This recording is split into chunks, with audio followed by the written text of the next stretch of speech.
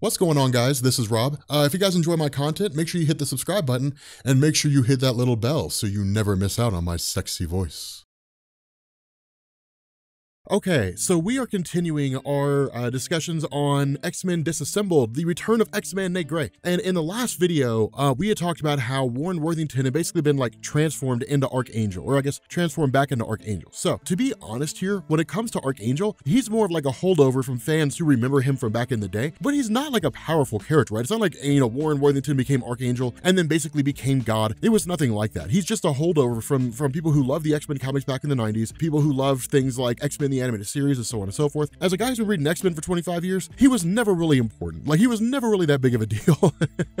At least not to me anyway. But uh, but again, like this kind of fight that takes place between Magneto and and Angel, honestly, it's kind of a fight that like Brisson and, and, and Rosenberg and, and Kelly, they all kind of like nip in the butt. And the reason why is because under normal circumstances, Warren would be useless against uh, against Magneto because you're talking about a guy with metal wings fighting the master of magnetism. Now the fight kind of breaks out and, and it sort of unfolds. Magneto basically blocks the shots of, of Warren and then essentially says like, you guys have brought this all on yourselves. You guys are all doomed. Now, the other half of this is that with Warren, he's, he's no ally here. And this is kind of a return to familiarity. And the reason why was because after Warren became Archangel and then kind of went forward, eventually he was released from the control of Apocalypse, but it was kind of like an existential crisis, right? Like now that he's had this huge shift and this, this huge paradigm shift in who he is, and it's like, who is Warren? What's he about? What does he stand for? All that kind of good stuff. And so he kind of left the X-Men for like a while. In this same scenario, it's kind of unfolding. Again, it's, it's sort of throwing comics back to the 1990s and saying, well, now he's kind of out there on his own. Angel stands alone now is really kind of his thing. So he's not an ally of the X-Men, but he's not an enemy of the X-Men. He'll never go back to the way he was before. At least that's kind of the indication as it's going on here. And so from that point, you know, the X-Men basically say, okay, fine, if you're not going to do anything for us, then at least show us where X-Man's operating out of. And so that's when they basically give him the location. Now, of course, this fight, this, this little bit of a conflict goes exactly the way you would expect in the sense that like the main X-Men roster shows up and then you've got what's left of the Horsemen of Life who are just kind of like, hey, you guys need to leave and so on and so forth. This begins to shift when X-Man Nate Grey himself shows up. And this is kind of an important thing is because again, Nate Grey in this scenario is far more powerful than he used to be. They can't stop him. There's no way they possibly could because his power is just on a whole different level. Not only that, we end up finding out in this sort of innocuous conversation that Jean Grey had with an older woman at a coffee shop, it was kind of this discussion of like, hey, like, is the earth worth saving? And it was more or less of a conversation between a mutant and a non-mutant. The difference here is that X-Man basically seized control of this old woman's body and was actually the one having the conversation with Jean. And what he got from that is Earth basically sucks. Like Earth is a cesspool and it's really crappy if you're a mutant. And so this is kind of an interesting thing because the stance of X-Man here is I'm doing what's for the greater good. And it's not really wrong. This world you live in basically sucks. You guys believe it's great, but it's not as great as you think it is. You know that because every day of your life is lived for fear of, of like the government just turning against you or humanity trying to wipe you out. Unless you're the Avengers or the Fantastic Four or any myriad of superhero teams out there that are not mutants, then life is okay. But if you're a, if you're a mutant, then life sucks. And it's, it's kind of crazy here because the idea of, of Nate is to basically say like, we're going to fix that. If humanity won't fix itself, then I will fix humanity for it. Now, again, this is kind of a cool thing because it leads to a little bit, like at least a little introspection on, on like humanity's side. Like as the reader, it kind of gives us a little bit of a, a little bit of a moment to ask the question, like, is X-Man right? Like if, if the earth is going to pot and humanity won't fix it and somebody can come along who can fix it, then is it okay for them to take control from humanity's hands? And my, my answer would be yes. Like humanity had its chance and it couldn't get it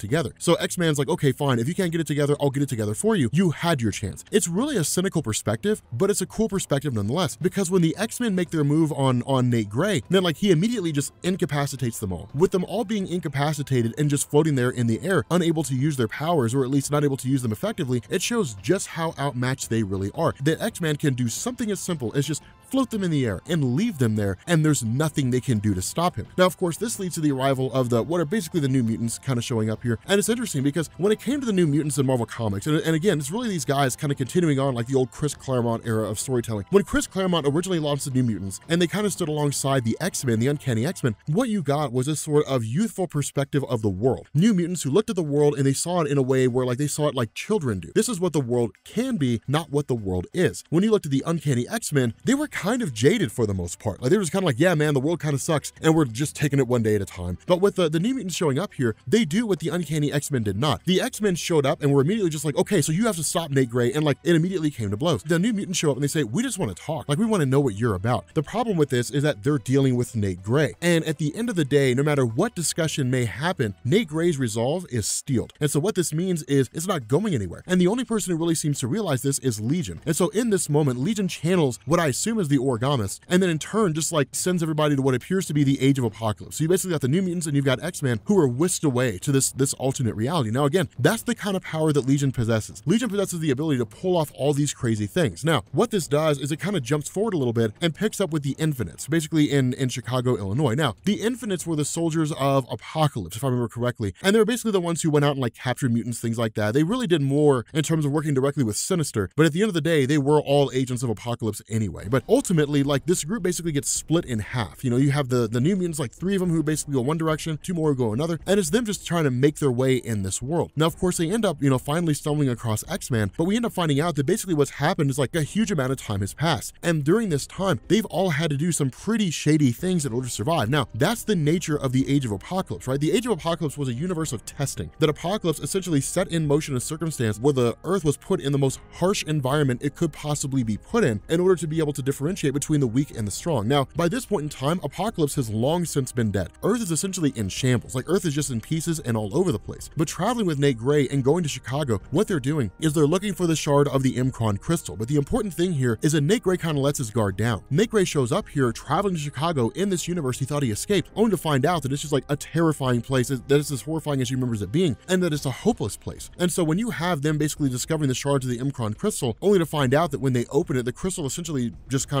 dissipates, turns to dust, and falls away, that's when you basically realize like there's no real escape here, at least there doesn't seem to be one. Now, Nate Grey himself is temporarily incapacitated when he's thrown inside of one of these stasis pods, and this leads to a conversation between Hisaka and Pixie. And when this discussion takes place between the two of them, it's this, I'm sorry, Hisako rather, this whole thing kind of unfolds in such a way to where Pixie makes the case that we basically have like X-Man in a weakened form here. It's bad form to kick a guy when he's down, but it's not really bad for him to do that when he threatens to destroy like everything you know and love. And like any measure of a father or of a husband, you do whatever you have to to keep your family safe, even if that means like helping somebody else finish with all their living. And in this instance, it's literally what his, what what Pixie's saying is like, we've got this guy defeated. Let's just kill him. Like if we if we kill him here and now and we find a way out of this universe, he can't destroy our own. And it's it's a it's actually a pretty legitimate argument. We're literally going to spare hundreds of thousands, if not millions of people by killing this one guy now. It's a small sacrifice. And so where under normal circumstances, Hisako probably would have said, no, no, no, that's unreasonable. Like they're literally in, in, in this alternate reality. They see how bad things can get. And so the response is, yeah,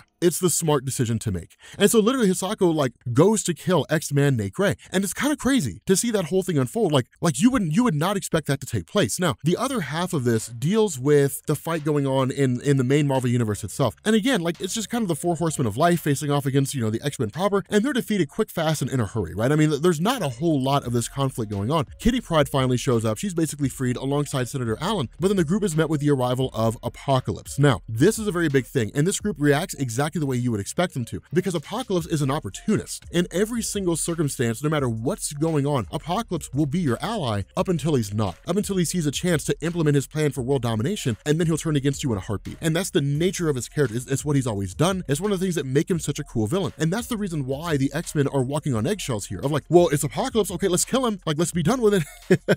now, the, the, the one of the big issues here is that I feel like Brisson and Rosenberg and Kelly really kind of downplay the power of Apocalypse. And the reason why I say that is because when this happens, when Apocalypse kind of makes a response to saying, look, there's no reason to argue here. What's basically going on is that you you essentially have like Legion, who seems to somehow be tied into all of this. You have like all the children of the X-Men who are in this alternate reality. I guess the, the young X-Men in the alternate reality. You've got X-Men out there. None of you guys can defeat X-Man, but like killing Legion is the key to like stranding them there. Because so long as Legion is alive, because he's the one that sent them there, Legion seems to be the way by which they can come back. So kill Legion. And so Apocalypse just like runs up on him to literally destroy David Haller, and the rest of the X-Men respond. But the problem with this is that Jean Grey by herself is able to basically overpower Apocalypse and like subdue him. That should never happen. And the reason why is because of just how powerful he is. I mean, maybe Apocalypse has just like been decreased in power over the years in kind of subtle ways I just haven't noticed. But as far as I'm aware, Apocalypse is just like a force of nature, right? Like he's just a plague sweeping across the world. And the X-Men, like a full contingent of the X-Men and X-Factor and even the Inhumans, even at their best, could not defeat Apocalypse all at the same time. Uh, he's just that powerful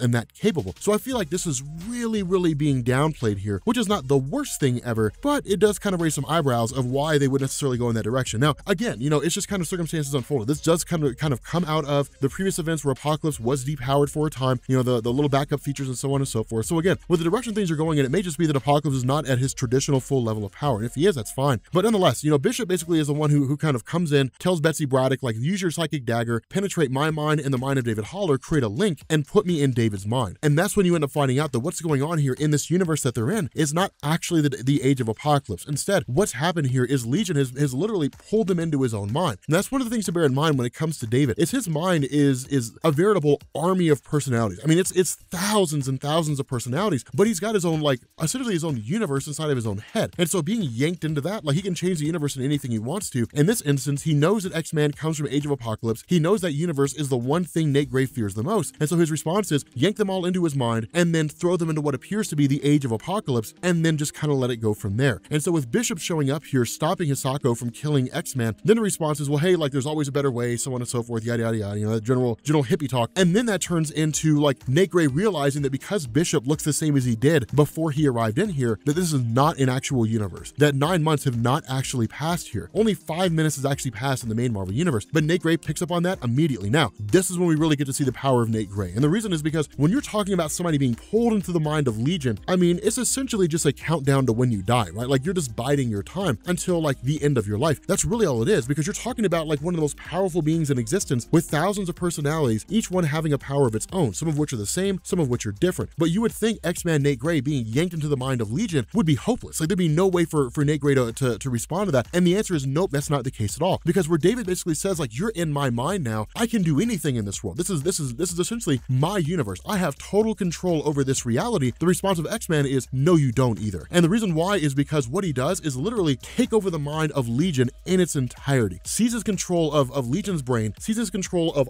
all of Legion's personalities, and then remanifests in the main Marvel universe. And so what you're basically dealing with here is insane. This is X-Man Nate Grey with all of his powers, uh, beyond Omega level telepath and telekinetic, combined with all the powers of David Haller and access to all the personalities of Legion and all their powers. The guy's a veritable god now. But with that being said, guys, we're gonna bring this video to an end. If you are new here to Comics Explained, make sure you guys hit the sub button to become part of the Rob Corps. If you guys enjoyed this video, make sure you drop a like, and yeah, I will catch you all later. Peace.